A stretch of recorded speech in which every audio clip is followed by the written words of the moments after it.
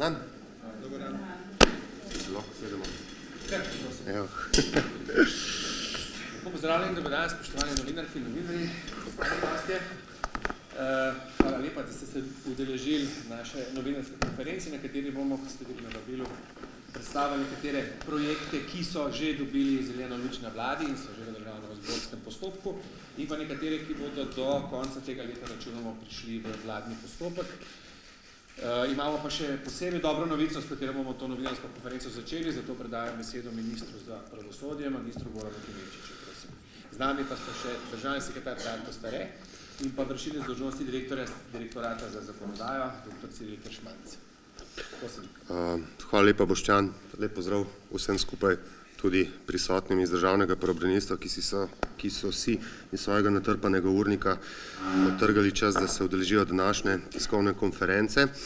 Dva razloga uh, sta za današnjo tiskovno konferenco. Eden je, da so bili prejšnji teden na vladi sprejeti trije pomembni zakoni, ampak to nobenega ni posebej zanimalo, zato ker smo na tej vladi odločali tudi o sporozumu Fides. Um, drug pa je um, končna odločitev v primeru Lokenda oziroma vprašanje sistemskega problema sodnih zaostankov v Republiki Sloveniji. In, s tem bi začel. Pristojni organ Sveta Evrope, odgovoren za izvrševanje sodb Evropskega sodišča za človekove pravice, je letos opravil skrben in neodvisen pregled, pregled slovenskega sodnega sistema. In danes o tem odločal.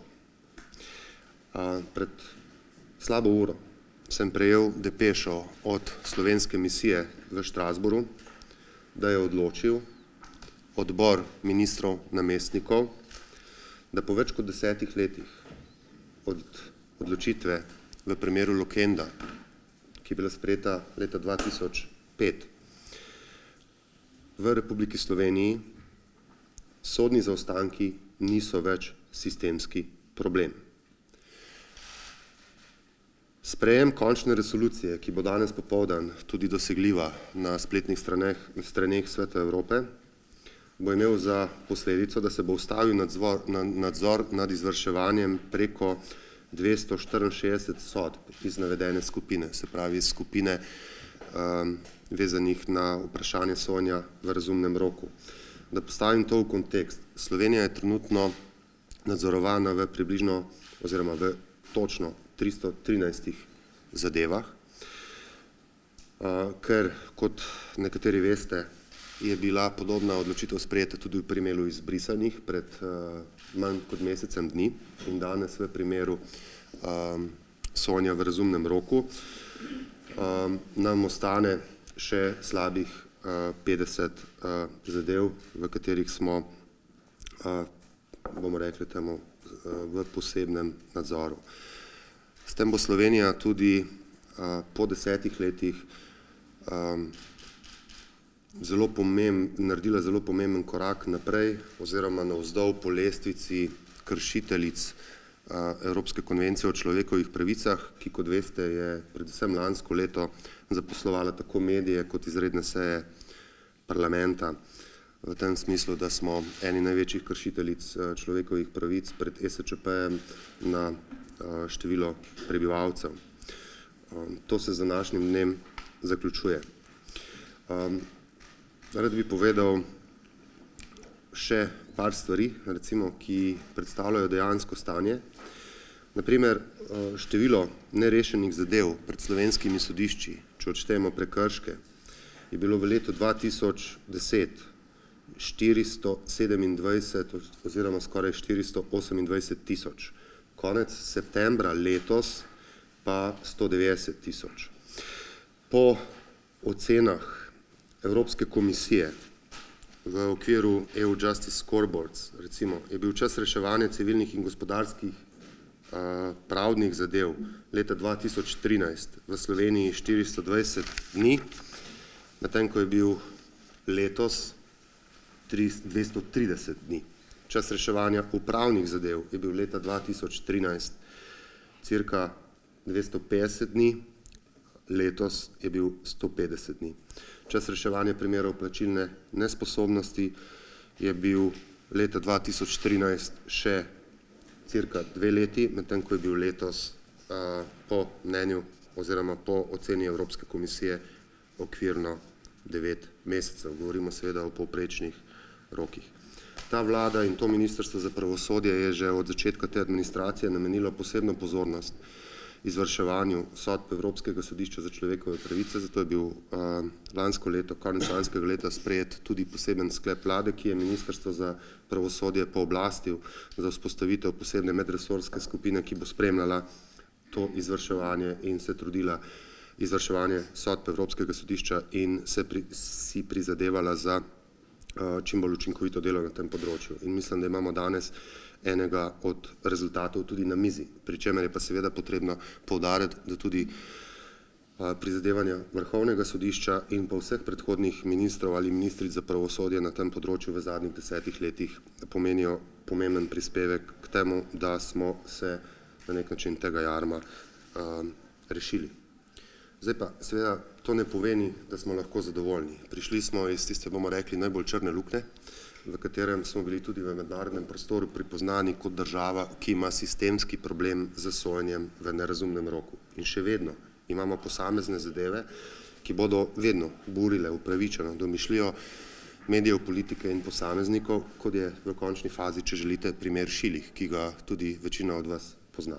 V tem primeru lahko, kot tudi veste, je na podlagi sklepa vlade Ministrstvo za pravosodje prevzelo posredovalno vlogo mediacije, da bi primer rešili po mirni poti. In danes več od tega ne morem reči, zato ker je ta postopek zaupen, razen to, da globoko verjamem, tako kot stvari danes tečejo, da bomo še pred koncem letošnjega leta tudi to zadevo rešili. V zadovoljstvo, če je temu mogoče tako reči, vseh involviranih strank. Vse skupaj pa seveda ne pomeni, da smo lahko zadovoljni, čeprav so trendi pozitivni in trendi so pozitivni. Imamo še vedno izzive na področju hitrosti odločanja in predvidljivosti ter enotnosti sodne prakse. Naslovitvi teh vprašanj, se pravi predvsem vprašanja hitreje do pravice za posameznika, za podjetja in navsezadnje za državo ter poenotenje in pa večji predvidljivosti sodne prakse, je vlada prejšnji teden potrdila obsežno in zelo pomembno novelo Zakona o pravdnem postopku. Ta zakon seveda ni, kot jaz rečem, tako seksi kot Zakon o kazenskem postopku in tako prepoznaven, vendar je dejstvo, da gre za zakon, ki opredeljuje med sedemdeset in osemdeset procentov vseh postopkov pred slovenskimi sodišči. Od civilnih sporov, zasebnih sporov, gospodarskih sporov, sporov pred delovnimi in socialnimi sodišči. Ta zakon prinaša mnoge pomembne novosti, ki naslavljajo prav tiste probleme, ki sem jih prej izpostavil. In sicer neenotno sodno prakso, nedisciplino v vseh strank, od sodišča do odvetnikov v pravdnih postopkih, malenkosti, zelo pomembne, praktične, kot so težave z vročanjem in tako naprej, in prinaša določene rešitve, ki bodo po našem mnenju in po vzoru nekaterih tujih sistemov, predvsem avstrijskega, nemškega in avstrijskega in švicarskega, ki smo jih natančno pregledali in se tudi pustili podučiti, kako ta deluje v praksi, prinesli, verjamemo, do hitrejših sodnih postopkov, do bistveno manj vračanja zadev iz druge stopnje, do večje enotnosti sodne prakse in do sankcioniranja odgovornosti, sankcioniranja zavlačevanja postopkov strani vseh vpletenih strank. Naj se sliši še tako populistično, verjamemo tudi, da bodo, da bo nov zakon, če bo potrjen v državnem zboru, tudi zmanjšal stroške pravdanja v Republiki Sloveniji, omejuje namreč število na primer pripravljalnih vlog, ki jih lahko odvetniki pošiljajo na sodišče in ki vsaka seveda od teh tudi nekaj stane. Podobno, kot smo naredili z Zakonom o pravdnem postopku, ki, kot rečeno, pomeni precejšnjo novoto v slovenskem pravnem sistemu, in ima tudi, ko bo sprejet in verjamem, da bo sprejet v državnem zboru z določenimi mogoče popravki, ima tudi precejšen vakacijo legis, se pravi, pol leta smo si dali časa, da v tem vmesnem času opravimo tudi ustrezna doizobraževanja in prilagoditve v samem pravosodju.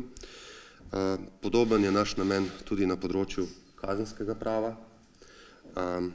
Kot veste, je že dalj časa v pripravi obsežna novela zakona o kazenskem postopku, za katero verjamem, da bo še pred zaključkom letošnjega leta prestala vladno proceduro in se potem v začetku naslednjega leta znašla v parlamentu.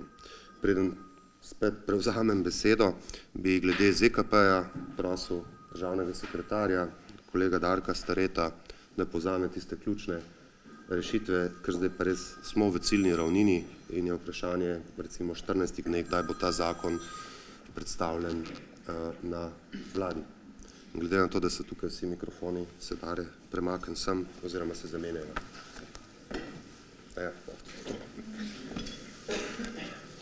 Hvala lepa, lep pozdrav tudi v mojem imenu.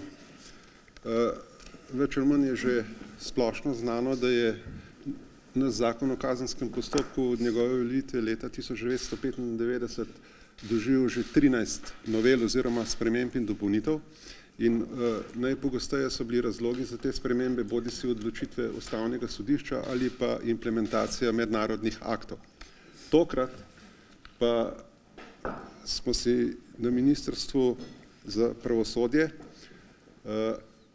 kot razlog za novelo poleg tudi dveh odločb ustavnega sodišča in direktive o žrtvah zadali tudi prizadevanje, ambicijo, da v bistvu s predlaganimi rešitvami poskušamo zagotoviti procesne pogoje za hitrejše, ekonomičnejše in učinkovitejše izvajanje tako predkazenskega postopka kot tudi seveda kazenskega postopka.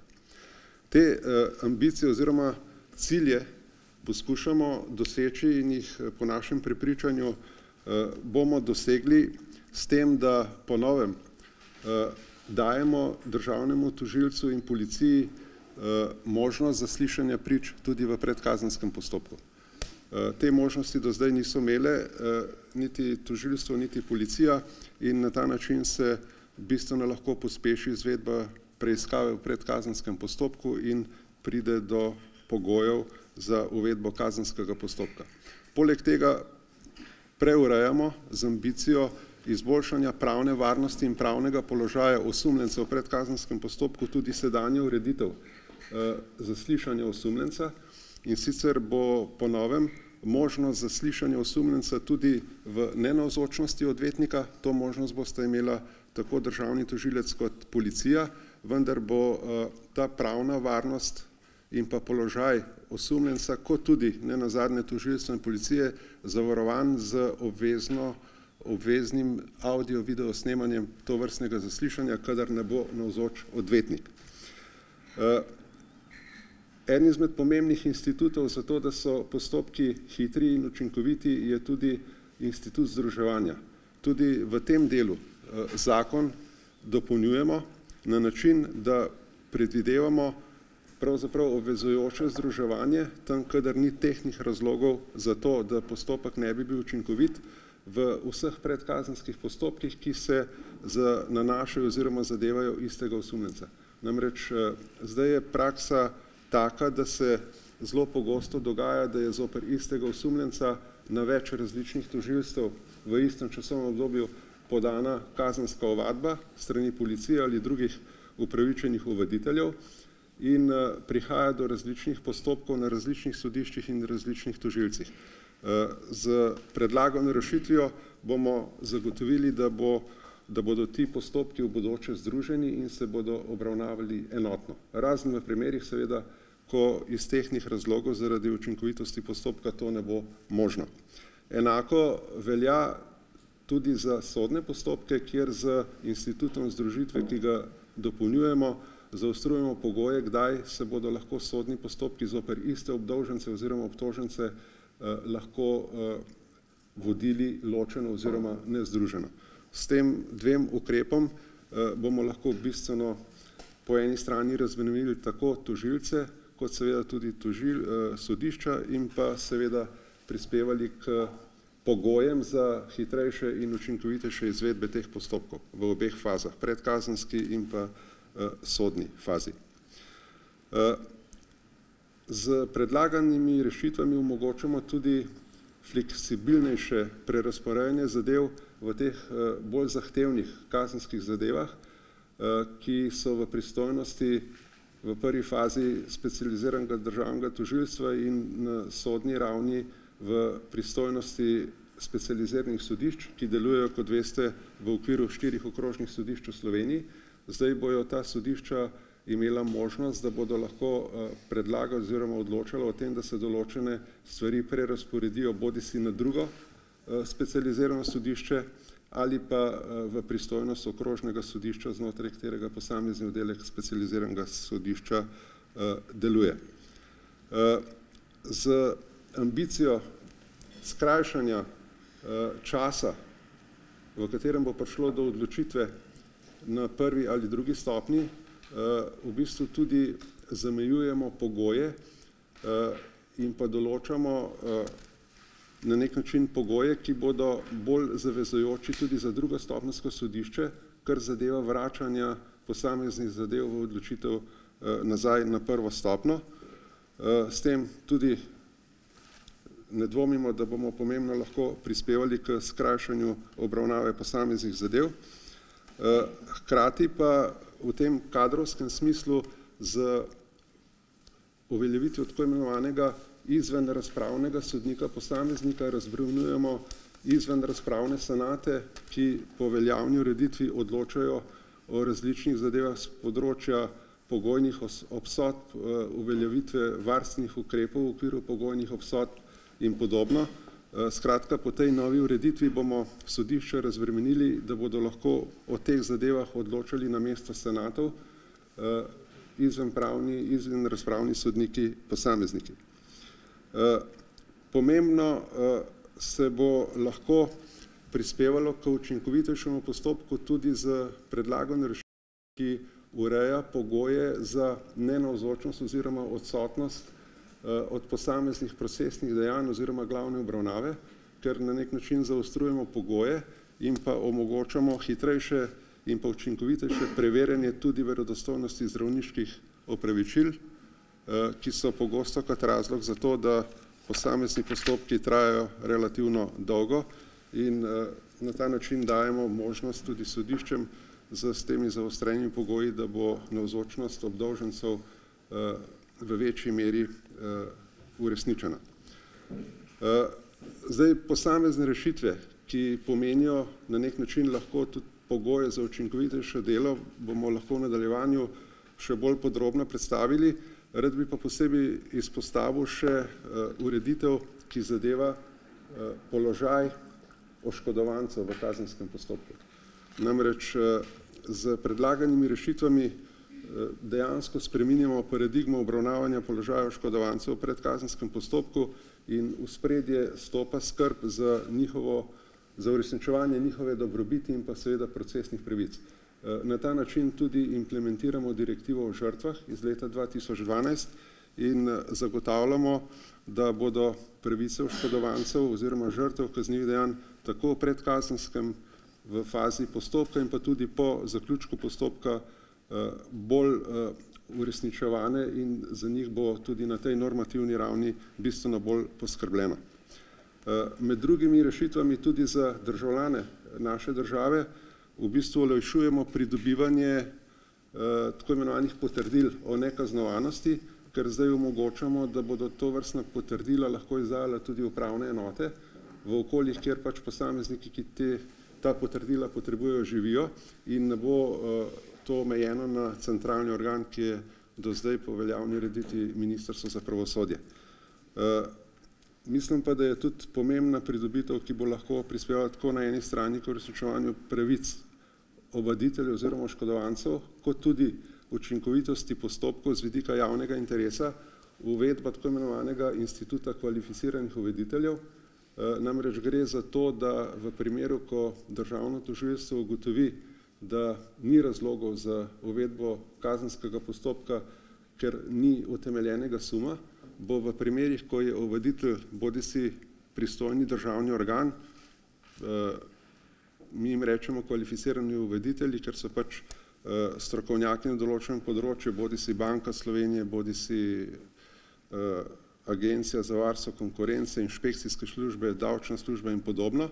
V teh primerih bo tožilstvo pred zavržbo dolžno o tem obvestiti ta organ, tega ovaditelja, in ovaditelj bo imel možnost dodatno utemeljiti svoje razloge oziroma osvetliti vsebino teh razlogov in pa podlage in na podlagi tega, če se bo tožilstvo ponovno odločilo po svoji presoji, da ni utemeljenega suma, bo to moralo v tem sklepu zavržbi posebej tudi utemeljiti oziroma se do tega opredeliti. Na ta način poskušamo še bolj učinkovito varovati javni interes, ki ga izražajo veljavne določbe kazenskega zakonika.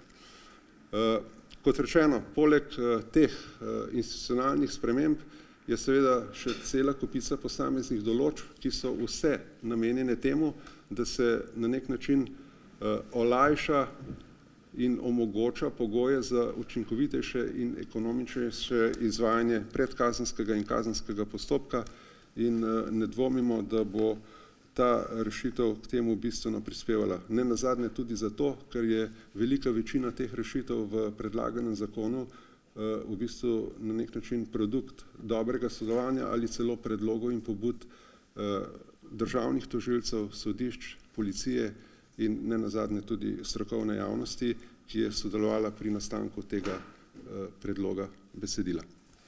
Toliko za uvod. Hvala lepa.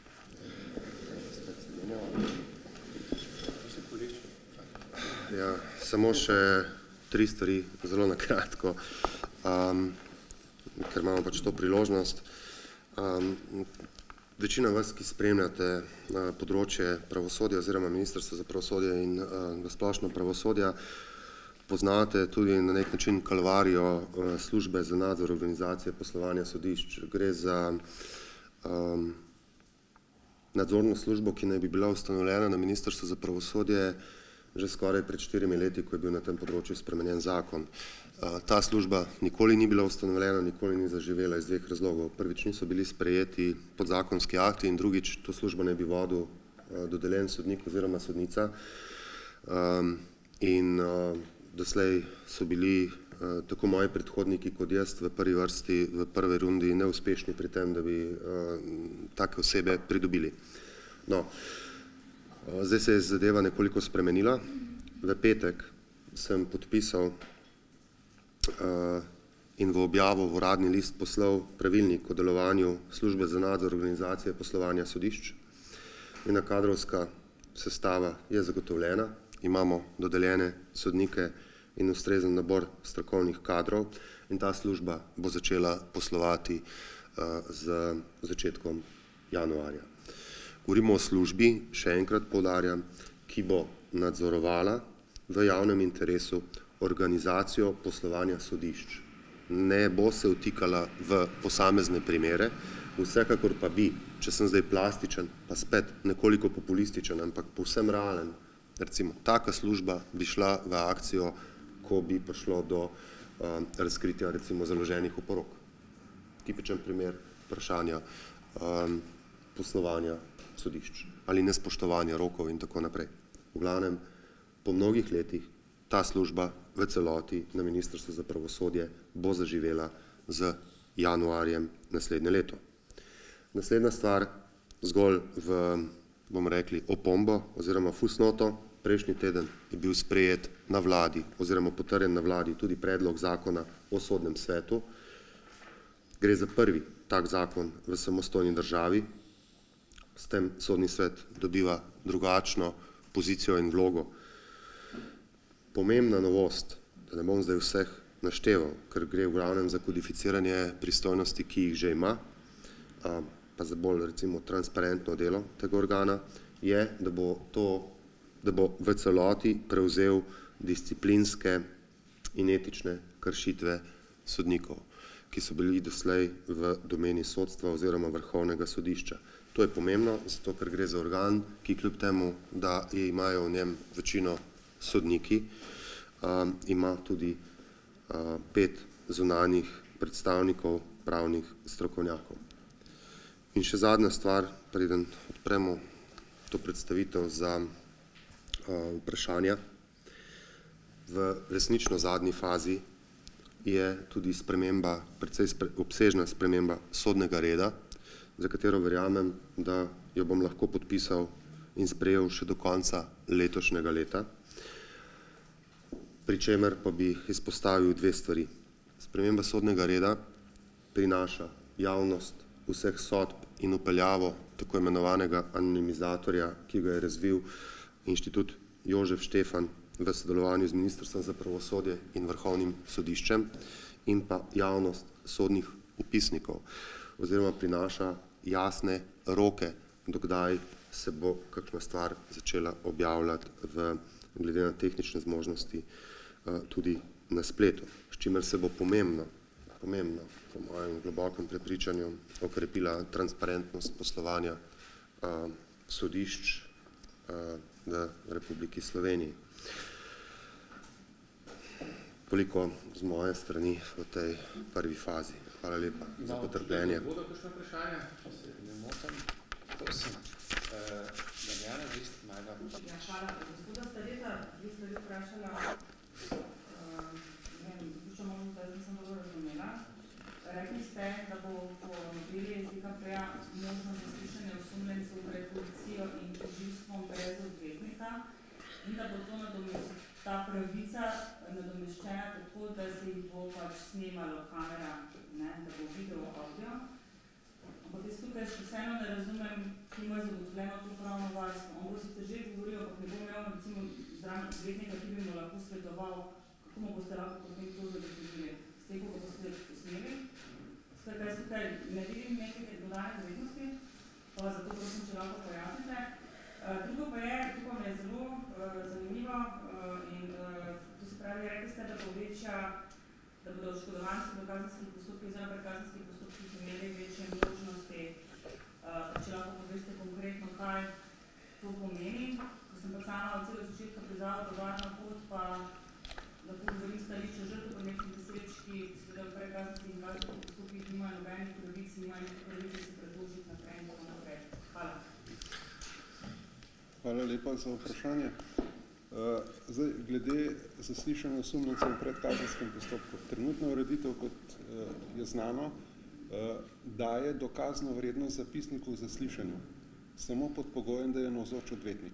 To je pač ureditev v našem ZKP, je pa unikatna v evropskem prostoru. In s tem, ko zdaj omogočamo možnost zaslišanja in pa tudi dokazne vrednosti ob seveda izpolnjevanju vseh drugih kavtel, pravni pouk in tako naprej, poleg tega je to svobodna izbira in odločitev vsakega posameznika osumljenca, ali bo izbral oziroma angažiral odvetnika ali ne, bo pa poštenost, korektnost in pa tudi pravna pravilnost postopka zagotovljena z avdio-video snemanjem.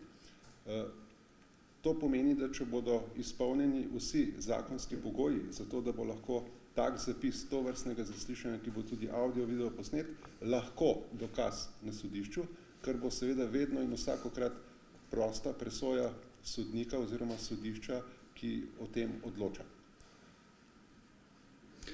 Če lahko, oprosti, če lahko dodam še v bistvu čisto plastično. Glejte, danes policija opravlja razgovore z osumljenci, to vsi vemo, in na podlagi tega nastane tako imenovan uradni zaznamek, ki je po sodni praksi neke vrste poldokaz. Ne. Na njega se sodba ne more povsem opreti, čeprav ga sodnik vidi in tako naprej. Uradni zaznamek je unikum v Evropi iz več razlogov. Prvič, uradnega zaznamka pogosto osumljeni ali priča ne vidi, ker ga policist napiše kasneje. Tisti, ki to spremljate, to poznate. Lahko ga napiše eno uro potem, lahko ga napiše štirinajst dni potem, če gre na dopust vmes. In ga napiše svojega vidika.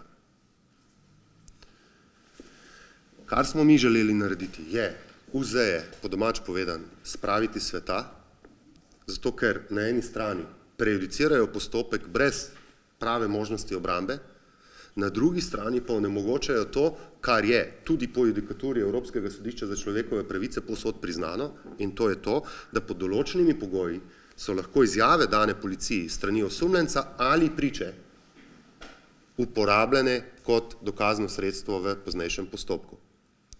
In to smo storili na dva načina. Bodi si, da si izbere zagovornika in je potem zapisnik o zaslišanju, tako kot pred preiskovalnim sodnikom. To je bilo že sedaj, pa ni nikoli povsem dobro zaživelo. Bodi si, da izredno izjaviš, da si zagovornika ne želiš izbrati, vendar se tvoje zaslišanje posname, če na to seveda pristaneš. In v takem primeru gre za pistega zaslišanja v sodni spis in ta zapis je relevanten, če ti potem na glavni obravnavi naprimer izpoveš drugače. Tukaj smo sledili tako rekoč večini tujih ureditev in pa judikature Evropskega sodišča, ker sedanja ureditev je resnično, poleg Makedonije smo edini, ki imamo v Evropi to vrstno ureditev. Ni naletela na, na, na splošno odobravanje iz več razlogov, ne? zdaj sem mogoče preveč odkrit, ampak policija na tem ni pretirano nadušena zato, ker se bo, ker, ker to pomeni posvetiti z lučjo na nek način tudi v postopek policijskega zaslišanja in ta postane bolj transparenten, ker ga lahko potem vidijo v bistvu sodniki, tožilci, obramba. Obramba ima pa s tem tudi seveda težave, zato ker um, pač meni, da se je bistveno lažje braniti, uh, če izjave, ki jih daš policiji, pa čeprav pod temi varovalkami ne pridejo in ne ogledajo luč sveta na, na samem sojenju. Rekli ste, če bo odvetnik se bo delal isto zapisnik kot zdaj, če odvetnika ne bo, se bo audio snemalo. Zakaj potem imamo zdaj dve neki varianti? Zakaj potem... Se snemalo se bi lahko v vsakem primeru, ne?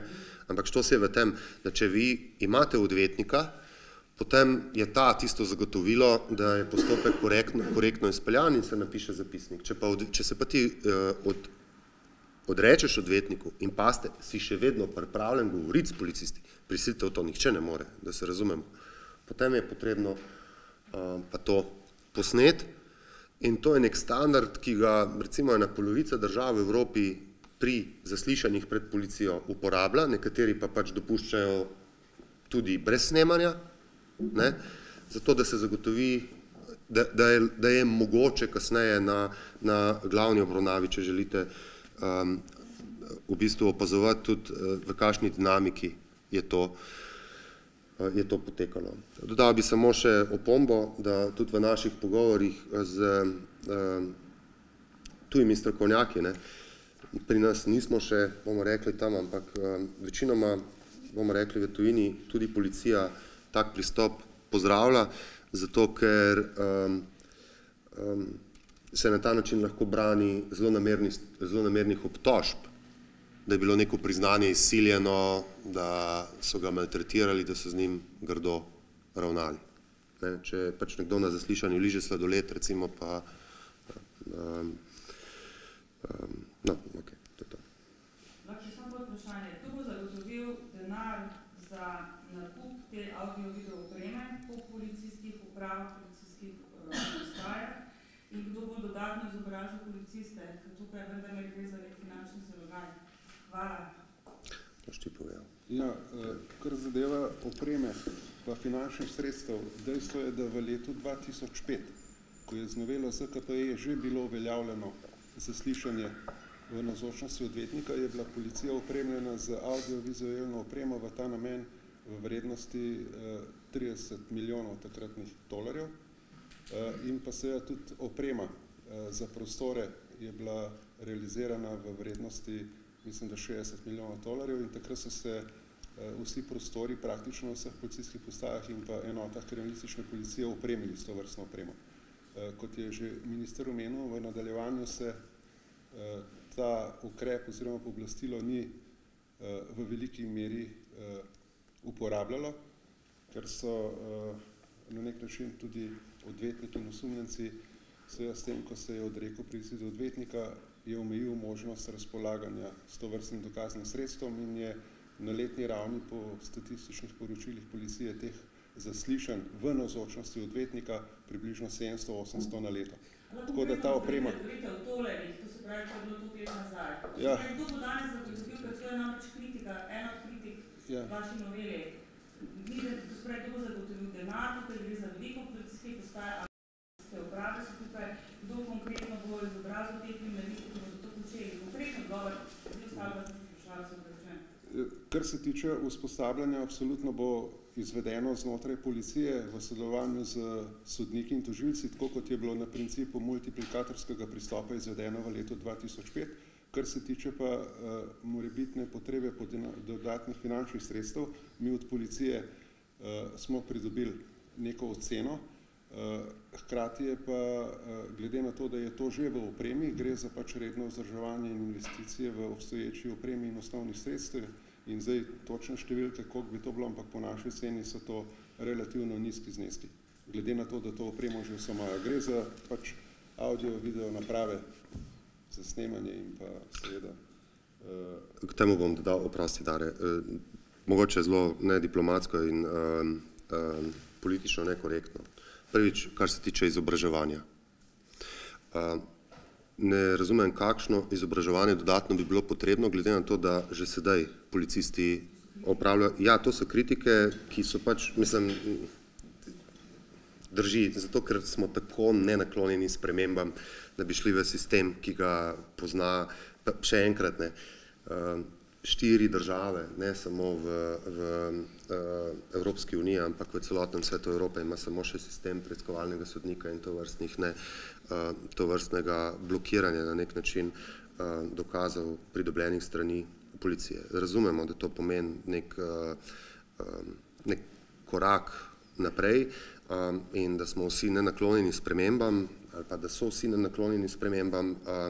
Prvič vakacijo legis bo precej dolg, kar se tiče samega izobraževanja. Policija že danes upravlja razgovore in ne vem, zakaj bi rabili posebno dodatno izobraževanje. Problem je v tem, da mogoče te stvari, ok, ne bom šel predaleč. Druga stvar je, kar se pa tiče uh, same opreme in tako naprej, je pa, mi smo dobili oceno, ta ocena je strani Ministrstva za notranje zadeve, seveda, to bo moralo biti zagotovljeno v proračunu, bo pa seveda potrebno to oceno tudi nekoliko bolj uh, realno pogledati. Um, Ministrstvo za pravosodje ima izkušnje z opremljanjem, uh, recimo z uh, snemanja glavnih obravnav po celi Sloveniji ne, in sodišč v tem smislu je več kot je policijskih postaj. Pa to ni bil velik problem, čeprav se je takrat, ko se je to izpostavljalo, je bil to največji problem. Ne. Um, tako da kamero ali pa enega diktafona dati na mizo ni tak problem. Je pa seveda problem, če tega nočeš upeljati. Pika. Hvala, pa sem šel zdaj, prosim. A, ok.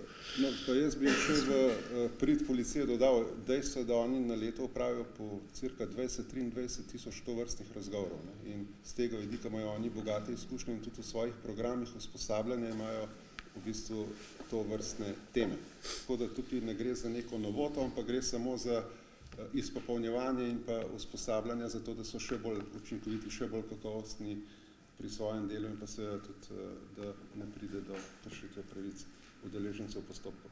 Kar pa zadeva direktivo uh, o žrtvah, gre pa preprosto za to, da je zdaj na zakonski ravni zapovedano, da pravice žrtev kaznivih dejanj, ki jih ta zakon zdaj širi, ne neposredno na oškodovanca posameznega dejanja, ampak v primerih, ko gre za kazniva dejanja za življenje in telo, tudi na njihove družinske člane in pa uh, ljudi, ki živijo bodi si v skupnem gospodinstvu ali pa imajo skupne življenjske vitalne interese, lahko v primeru njihove smrti vstopijo v ta položaj in uživajo te procesne pravice.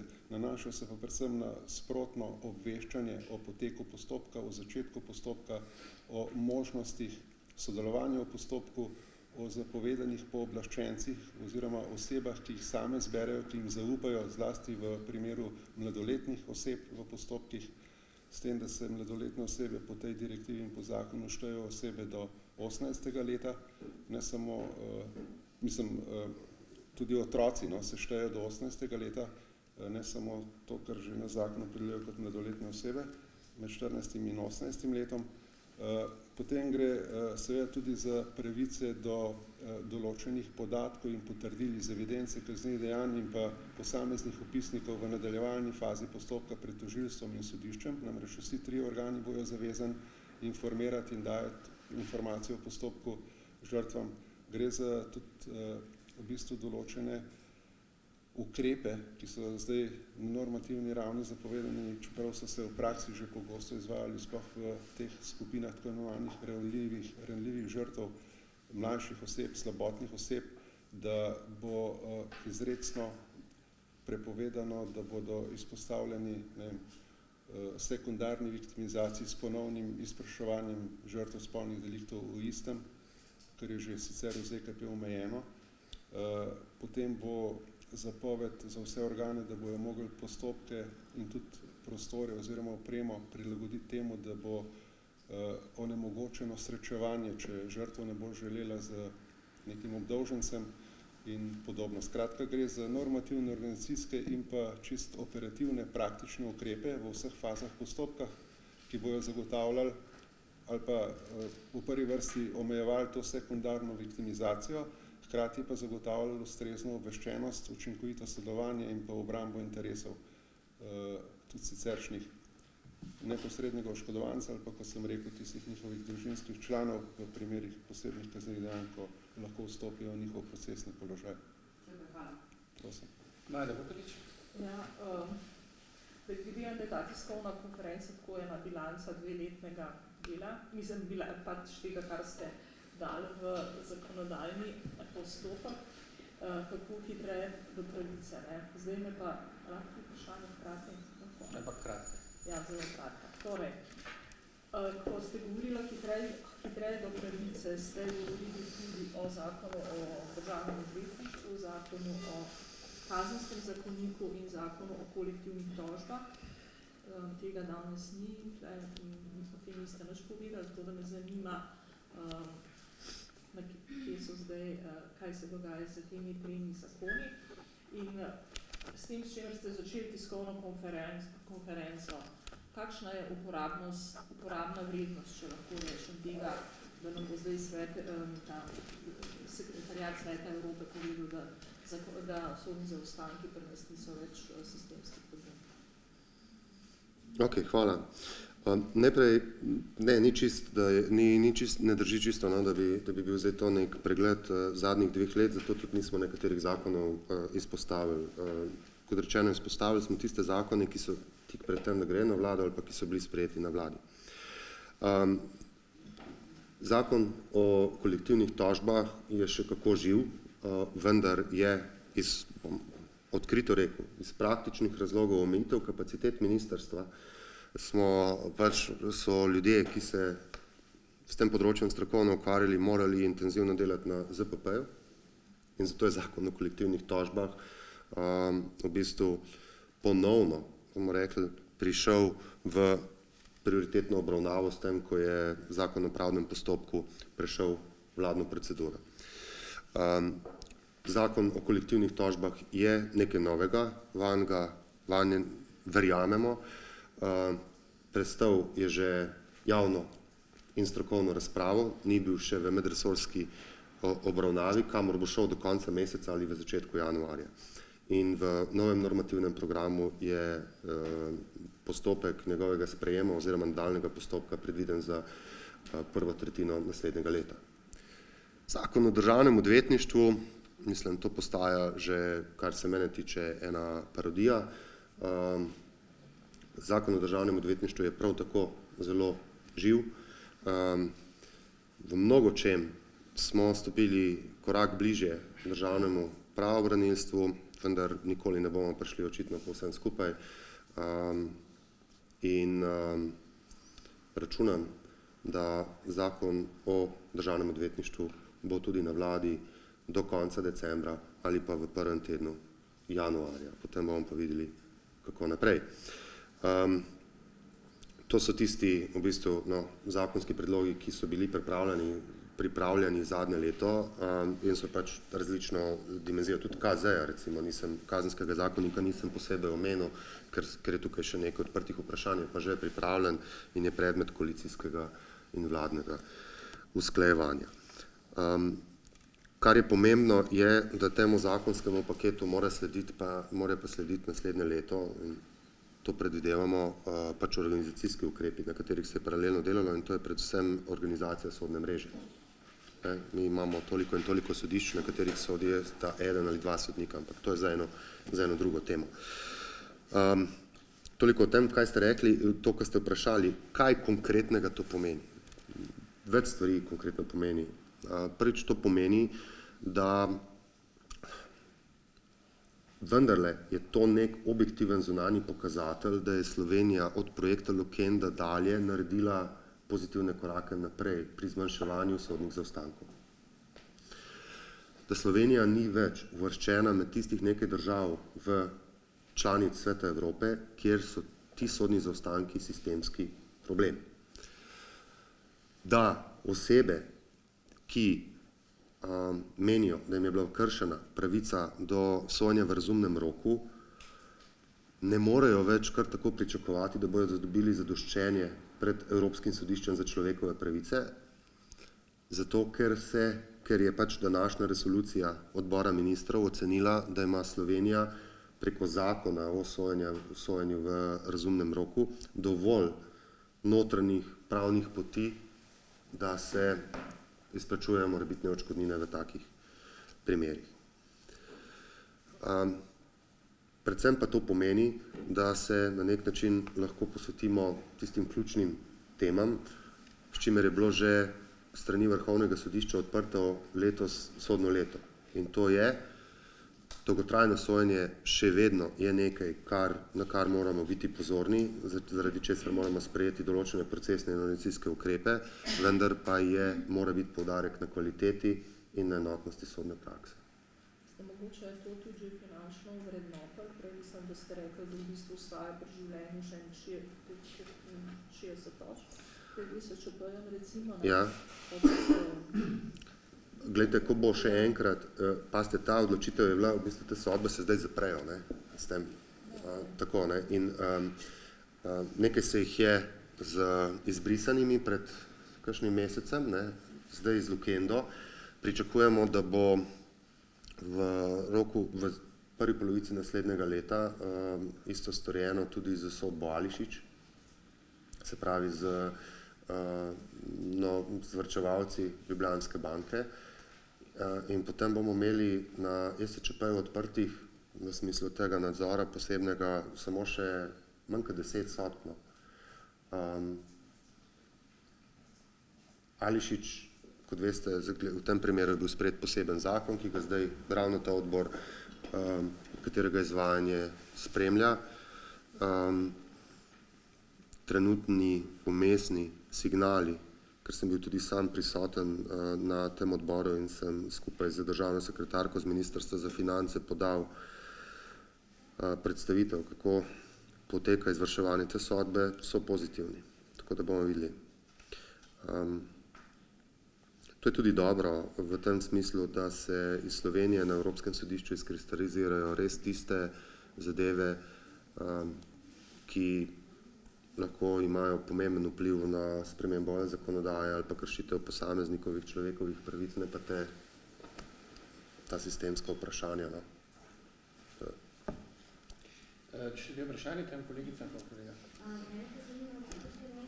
Če bodo letele glave, če se izkaže, da je gospod Novič nezakonito priprt, in pa če bodo letele, čigave bodo?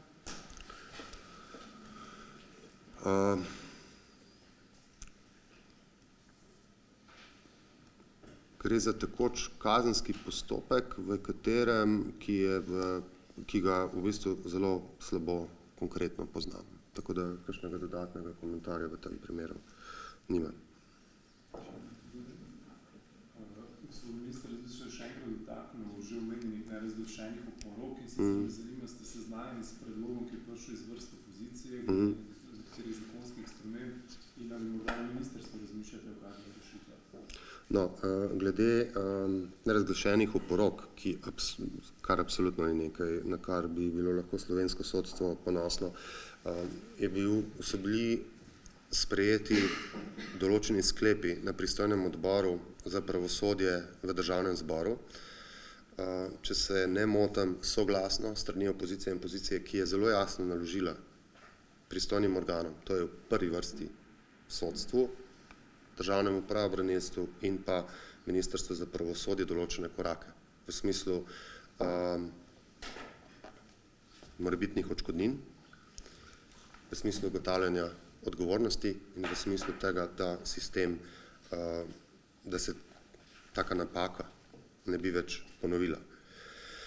Na tem se intenzivno dela, um, pripravljeni uh, bilo je več sestankov in, uh, in uh, sprejetih usmeritev in odločitev in smernic med vrhovnim predstavniki Vrhovnega sodišča državnega pravobranilstva o prisotnosti Ministrstva za pravosodje. Um, konkretno, zdaj tega ne bi predstavljal, ker bomo o tem poročali oziroma bodo strani Vrhovnega sodišča in državnega pravobranilstva, ki so bili prvi naslovniki tega poročali državnemu zboru. Uh, trenutno je pa um, tudi predlog opozicije, o katerem mislim, da bo jutri vlada odločala in vsaj v enem delu vsekakor ta predlog ni slab in je vreden razmisleka. Ampak pred odločanjem vlade se do tega ne morem drugače opredeliti, prosim za razumevanje.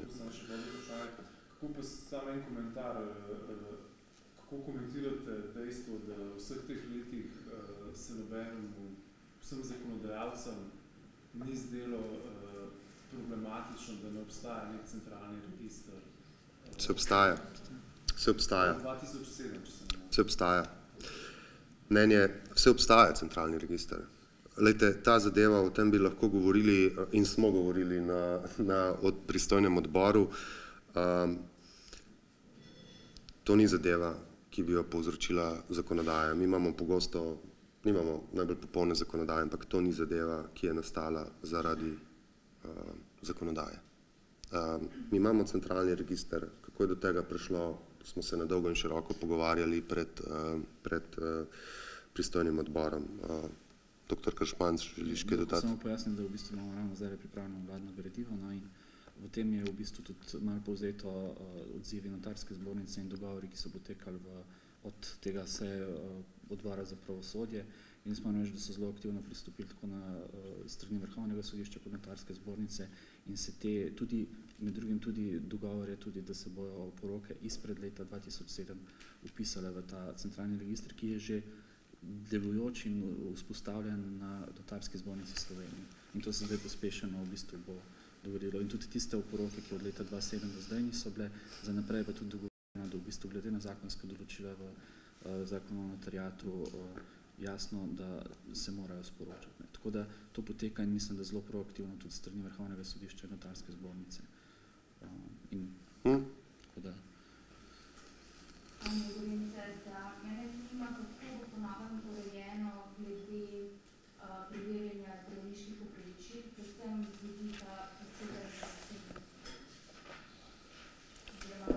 Kolega.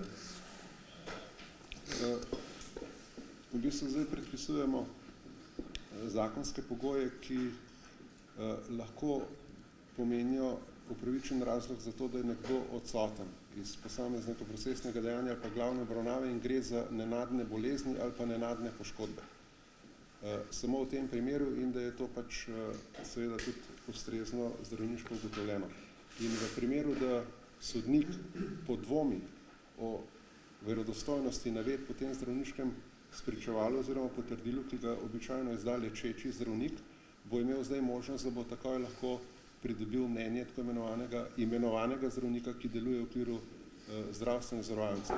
Zdaj je bilo na nek način predpisano in predvideno, da morate biti dva ali več teh potrdil in šele potem je po zakonu zaprosil, zdaj pa to skrajšujemo, da že po prvem lahko v bistvu preveri verodostojnost. Tako da, kar se tiče same vsebine, pa se ne posega v bi rekel, te občutljive osebne podatke na ta način, kot sem razumel vprašanje.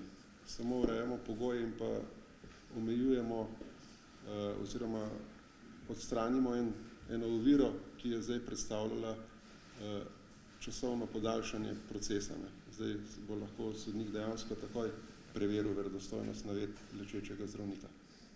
Še zadnje vprašanje? Ja, jaz sem dva, dve vprašanje, Prvo vprašanje se nanaša na sodni svet, uh, zdaj, z novelo zakona mu dajete več pristojnosti, medtem ste pa recimo na oktobrski seji odbora za pravosodje odkrito kritizirali njihove uh, odločitve imenovanju uh, sodnikov, sicer ste rekli, da je to legitimno, da se da ne upošteva vaših kritik sodniškega dela, ampak zdaj jim dajete preveč pristojnosti, me zanima, kako to.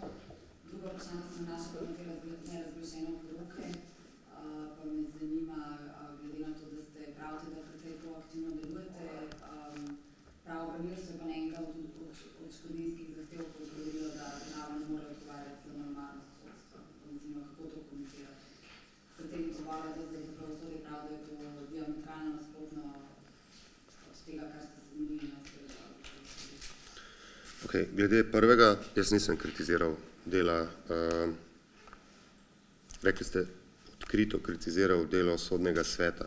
Ne, povedal sem pa, kar je dejstvo, da uh, je sodni svet večkrat odločil v nasprotu z mnenjem, ki ga je Ministrstvo za pravosodje podalo, um, kar je legitimno. Zdaj, ali je bilo to zmeraj dobro obrazloženo ali ne, je drugo vprašanje. Um, ne, ne dajemo jim več pristojnosti, v nekaterih primerjih jim dajemo več pristojnosti, predvsem pa urejamo a, njihovo delovanje in poslovanje tudi v smislu a, večje transparentnosti. Z vsako novo pristojnostjo pride tudi odgovornost in v večini evropskih sistemov nekdo mora biti odgovoren za imenovanje in karierno pot sodnikov, vključno z disciplinskimi postopki, razrešitvami in tako naprej. In zgodovina je pokazala, ali pa pravna teorija ali praksa je pokazala, da je v odsotnosti boljših rešitev, če želimo ohraniti uh, delitev oblasti, to sodni svet, ki je mešane sestave. Ali je vedno sodni svet ravnal optimalno? Najbrž ni. Tako kot tamle čez cesto mi vedno ne delujemo optimalno, tako kot vedno ne deluje optimalno tamle na Šubičevi ali pa na Gregorčičevi. Ne? Dejstvo pa je, da z tem, ko bolj podrobno in jasno prvič določamo njihove postopke, njihove odgovornosti, pa tudi transparentnost njihovega delovanja, pa transparentnost njihovega financiranja, verjamemo, da bomo storili korak naprej. Toliko o tem. Glede oporok, to, da uh, tega ne morem komentirati, ker ne poznam, moram reči, da bi me, mislim, ali je iztrgano iz konteksta, izredno bi me začudilo, če bi šlo za eno tako posplošeno izjavo državnega pravobranilstva, da državno pravobranilstvo ne more odgovarjati, oziroma da država ne more odgovarjati. Tukaj je bilo uh,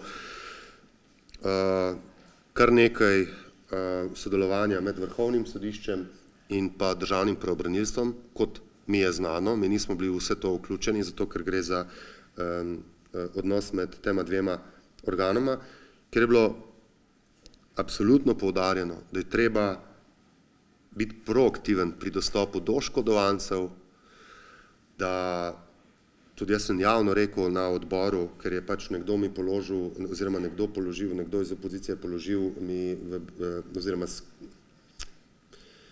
ni pravilno interpretiral sklepa, češ tožiti morate državo, če hočete nekaj dobiti. Ne? Ni bilo tako proaktivno, ne bi dostopali, pristopali do ljudi v smislu uh, morebitnih izvensodnih poravnav in tako naprej. Um, tako da toliko tem, ampak v poroke vsekakor to ne bo šlo mimo in prav je, da ne gre mimo, ne samo zaradi medijev, ampak ne bo šlo mimo, ker ne sme iti mimo. Ne.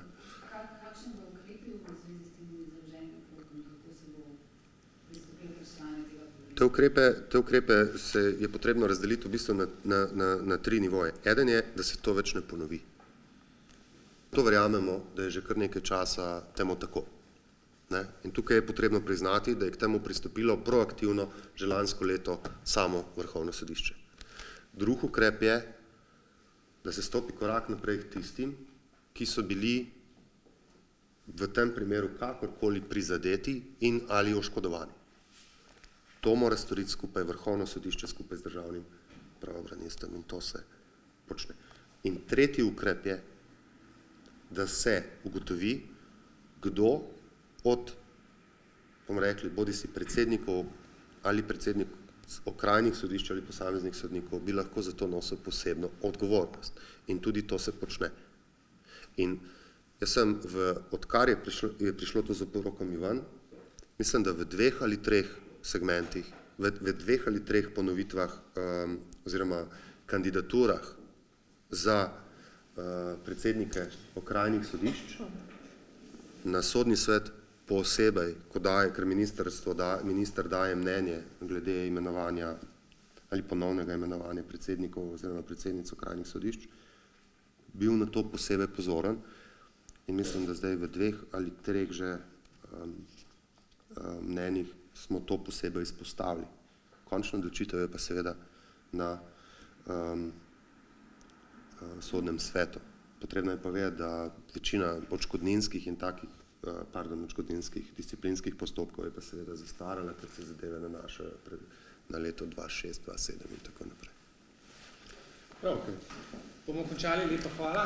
Vas še obvestim, da boste popovdne, kdor želi, bomo poslali povezavo na objavo te resolucije v zvezi z uh, primerom Lutenda, tako da boste lahko originalno besedilo videli na spletni strani Sveta Evrope. Lep dan še naprej in naslednje leto. Ne, ne, ne, A ja, a bo zaslišal kandidate? A boste vi potem tukaj to naprej dali? Ja. Ja. Iskreno rečeno, uh, bi se rad, uh, da se, izrecno, če se, sem to tako, da se ne tako prav, da bi, da bi, da pač, jaz bi tudi slišal. Moja odgovornost je ta, da običajno si jih slišal preko sodnega sveta, da na takrat nisem se predstavljal, da bi bo v četrtek to imel. Uh, Ker me zanima, koliko hitro lahko ne, vašo to, odločitev to, pričakujemo. ne, tisto opisal. A boste potem spoštivali, da državni zbor še letos glasuje? Ne, to pa Državni zbor bo letos. Ne, jaz dvomim, da bo zato, ker, ker, uh, glede, samo še ena stvar je, uh, A me izredno, tisti, ki bo drugi januar. ne, iskreno rečeno, sem se, sem drugi januar, odlično. Pa na samo od tožilskega sveta ste že dobili v mnenje kandidata oba štiri. Ne, ker oni čakajo zdaj, uh, to je spet od rekord, ampak uh, ker je to prvič, ker je tak postopek, ne, uh, oni bodo čakali, čeprav razumem pa mnenje vlade. Tako, no se tudi mislim, že ste vi že dobili od OKS-ja poziv, se Mi smo, pa, mi smo, sem pa ravno prejšnji teden poslal, ker so, ja, oni so vprašali, da v bistvu, kako se mi zdaj to predstavljamo in smo rekli,